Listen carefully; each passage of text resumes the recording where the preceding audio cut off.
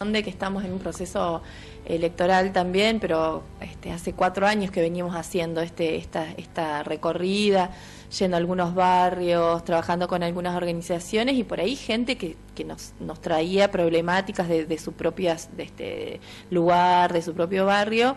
Fuimos tomando esas, esas, este, esas inquietudes y transformándolas en estos que son proyectos de resolución, donde nosotros le acercamos al Ejecutivo una, una idea, una propuesta este, para mejorar alguna cuestión muy puntual.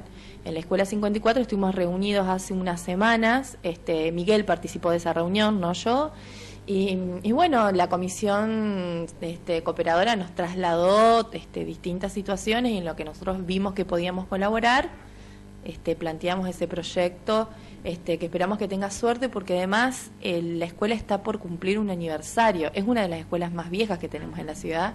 Este, además algunos tenemos como nuestro corazoncito, yo fui a esa escuela también, así que es como, bueno, que nos parece que siendo que está tan en, está en, en el corazón de la ciudad y demás, hay cierto deterioro, digamos, en, en la cuestión de, de, de, de, cómo está iluminado y demás, que tiene que ver con también un poco con la seguridad. Así que bueno, entre las cuestiones que nos plantearon hicimos esta, esta propuesta. ¿Qué es lo que está faltando, digamos, la iluminación en el frente de la escuela, lo que es en el patio? Lo que nos plantean es más bien, el planteo era más, tenía que ver, tiene que ver con los laterales, pero es una cuestión un poco más general. Eh, la escuela hace un tiempo, ahora no recuerdo cómo está esa situación, pero también tenía algunos deterioros en la cuestión estructural, eh, en una de las salas más grandes que tenían.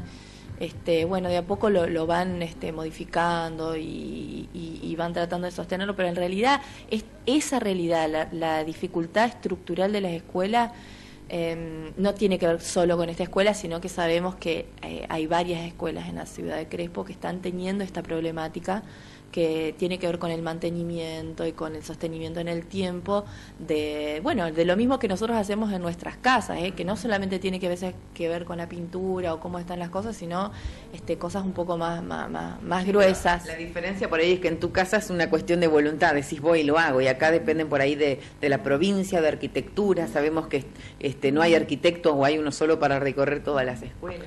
Bueno, esos son puntos de vista. Nosotros creemos que en realidad el tema de la educación en la ciudad tiene que ser un tema que tiene que, tiene que estar garantizado por la municipalidad también.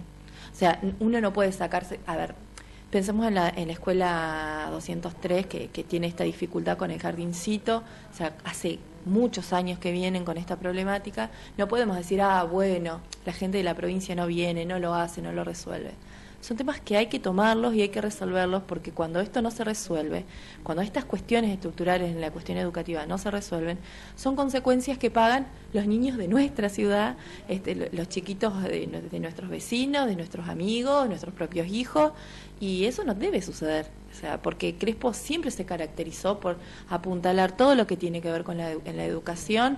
El municipio siempre intentó generar este, intervenciones en la medida de lo posible. Y, y, bueno, y creemos que hay que retomar esa idea porque esta idea se ha abandonado en el último tiempo de la misma forma que ha sucedido con la salud. Hoy tenemos un estado crítico en la salud pública de la ciudad por plantear de que es un tema provincial. Y la verdad que es un tema que debe ser tomado por, por, por, por, el municipio también, porque es una extrema necesidad y porque la necesidad la sufren los vecinos de la ciudad. Y buscar respuestas afuera y si las respuestas no llegan, hay que hacerse cargo igual. Eso es lo que nosotros pensamos, digamos.